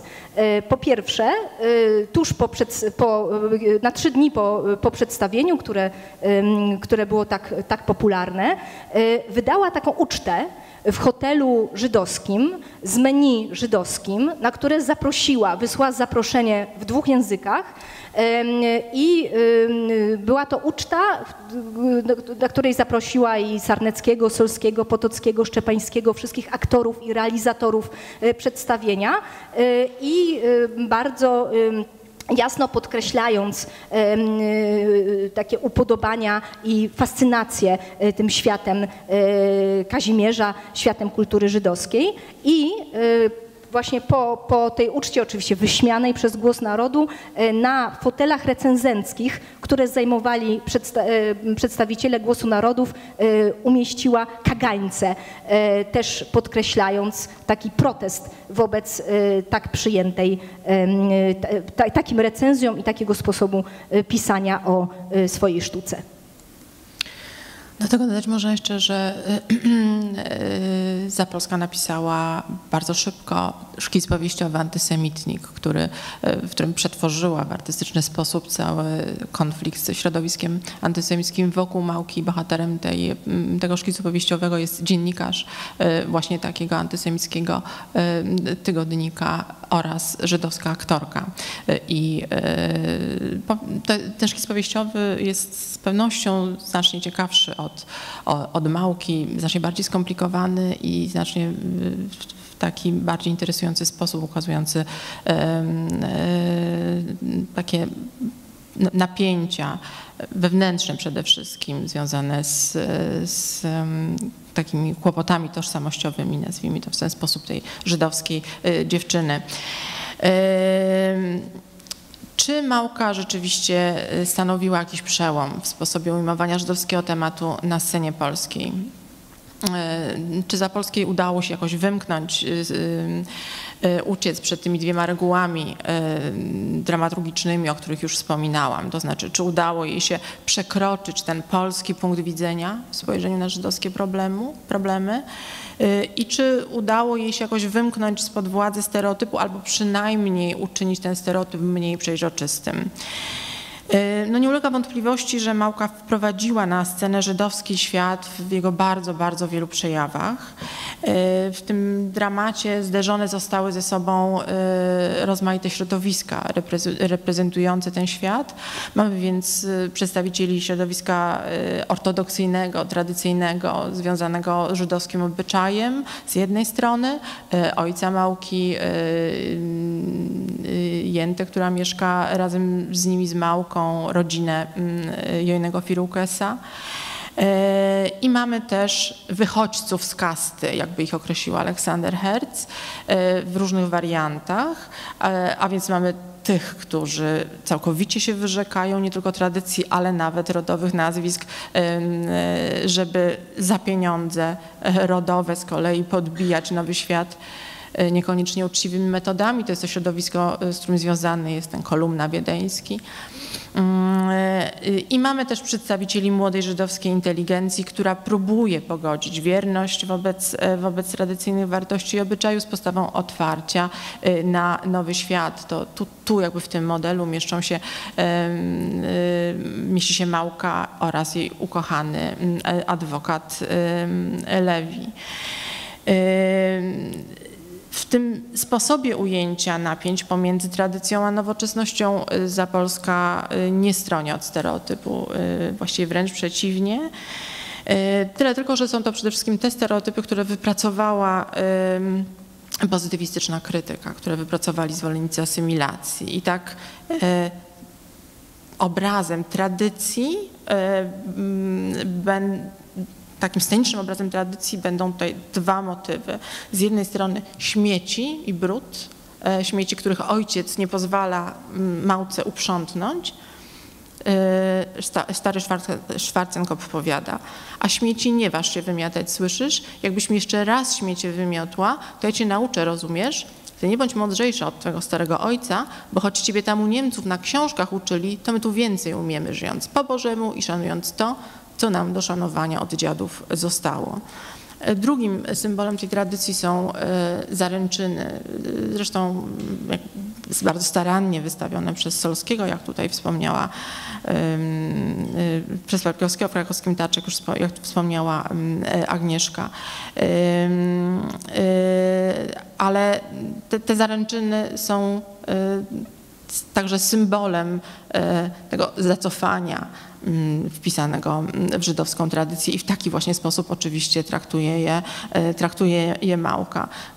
W utworze pojawiają się cały czas e, takie komentarze Małki e, o zaduchu, o zaduchu świata, w którym przychodzi jej żyć, o zaduchu świata, w którym została zatrzaśnięta i zamknięta, o zaduchu, który jest także zaduchem moralnym. Zatem perspektywa, w której Zapolska ukazuje ten żydowski świat w 1897 roku e, jest perspektywą już bardzo dobrze zmianą, znaną. E, I Małka i jej ukochany Lewi to są modelowe przykłady takich Żydów, e, jakich chcieli ukształtować zwolennicy asymilacji.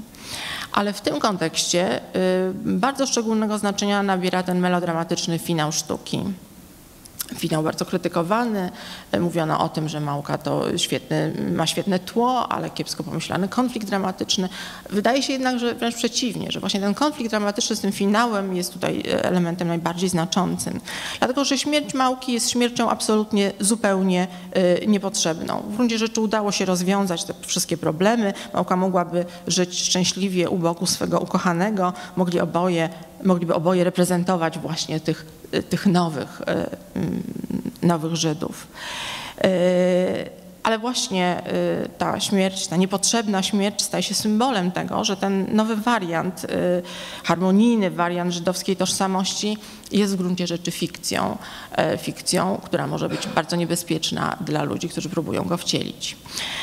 I na tym skończylibyśmy naszą, skończyłybyśmy naszą dzisiejszą e, opowieść o, o Małce i o Żydach, e, zapraszając Państwa na film przygotowany przez e, Ewę Hewelkę, Michała Januszańca i Agnieszkę Wanicką.